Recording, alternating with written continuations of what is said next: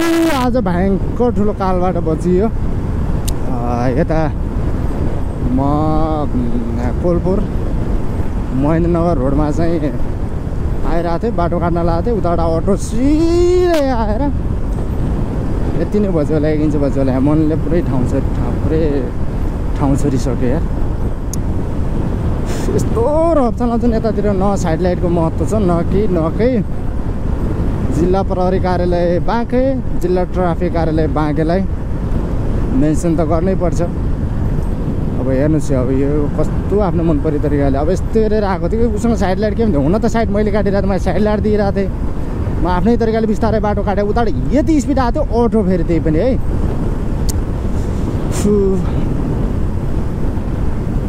भोलि काठमाडौँ फर्किने प्लान थियो तर आज नै प्लान चौपट होला जस्तो पो भयो त भने छ्या म एकैछिन नेपालगञ्ज निस्किन्छु भनेर घरबाट निस्केको थिएँ। काठमाडौँ पुग्न नदिने सोच पो बनाएको थियो क्या हो अटोले? छ्या शरीर पुरै कापिरहेको। सिधै अगाडि आइरहेको के भने म त बाटो काटिरहेको छु उता बिस्तारै आउला जस्तो लागिरहेको थियो बाटो काटिरहेको थियो बिस्तारै आइरहेको थियो पहिला। अनि म आउने बित्तिकै त बाबरे पुरै यसै सुसु गरिरहेको थियो कि पुरै गरिरहेको थियो अगाडिको टायर अटोको त तिनवटा पाङ्रा मात्रै हुन्छ नि त। इलेक्ट्रिकल अटो होइन नि फेरि पेट्रोलवाला अटो हो फेरि। यति स्पिड हिँडिरहेको थियो।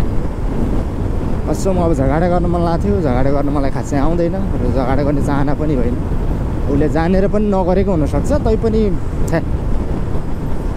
तर यति रफ चाहिँ कसैले नचलाउनुहोस् है यो बाटोमा चाहिँ। यति रफ चलाउँछ यो बाटोको मान्छेहरू। ट्राफिक देख्यो भने डरले पुरै थुरथुर्ती मुतिरहेको हुन्छ ट्राफिक नदिने यति खतम गरिरहेको हुन्छ। आफ्नो तालले हिँडेर हुन्छ भने मैले बिस्तारै साइड काटिरहेको छु। ऊ त साइड लाइट दिइरहेको छ मजासँग। भनेपछि कमसेकम त हुन्छ नि त अलिकति होइन?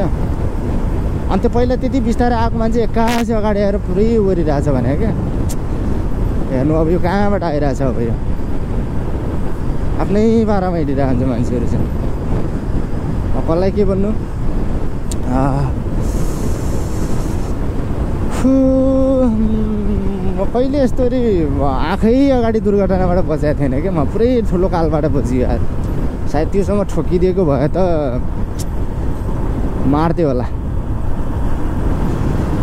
अनि यो कोलपुरबाट नेपालगञ्ज जति बाटो छ बाटो मर्मतको काम भइरहेको छ तपाईँ स्पिड र ओभरट्याक चाहिँ कम गर्नुहोस् है। म यति यो बाटो हिँडेको छु तर सब र पाराले हिँड्छ। सब मान्छे सब चालकहरू सब फटा मात्रै छ। बेलुकाको टाइममा त सब दादा नै हो यहाँको। त्यही भएर तपाईँ एकदम केयर हिँड्नुहोस्। फु बाँचियो भाग्यले बाँचियो। भाग्यले धेरै ठुलो साथ दियो। करिब तिन चार महिनाको उम्, कोलपुर नेपालगञ्ज लखनऊ दिल्लीको बसाएपछि काठमाडौँ फर्किने भोलि मात्रै प्लान बनाइरहेको थिएँ। सायदै म आज म त पेट्रोल हाल्न जाँदै थिएँ नेपालगञ्ज। यहाँ कोलपुर पनि छ पेट्रोल तर उता चाहिँ अलिकति त्यस्तै कन्डिसन कारोबार भएको कारणले पेट्रोल हाल्न जाँदै थिएँ। म त यो दुःख तपाईँलाई सेयर गर्न मन नै लागिहाल्यो क्या मृत्यु जितेपछि। साँच्चीकै हो दुर्घटना आफ्नो कारणले मात्रै हुँदैन अर्काको कारणले पनि दुर्घटना हुन्छ। त्यही भएर तपाईँ चालक हुनुहुन्छ। एकदम बी केयरफुल चलाउनुहोस्। फु छ्या यस्तो लगले बाँच्यो भने।